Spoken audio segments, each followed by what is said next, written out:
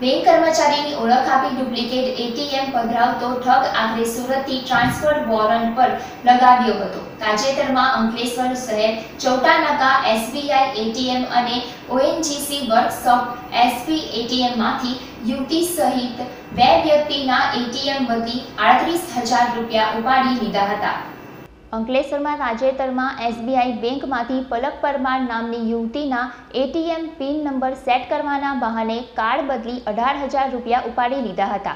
તો ONGC workshop SBI એટીએમમાં બોરભાઠાના ઈસમને રૂપિયા ના ઉપાડતા બેંક કર્મચારીની ઓળખાણ આપી ડુપ્લિકેટ એટીએમ બદલી વીસ હજાર રૂપિયા ઉપાડી લીધા હતા, જે અંગે અંકલેશ્વર શહેર પોલીસ મથકે ફરિયાદ નોંધવા પામી છે. ઘટનામાં આણંદના ભેજાબાજ એટીએમ ઠગ તુષાર કોઠારીને સુરતના મહીઘરપુરા પોલીસે ઝડપી પાડ્યો હતો.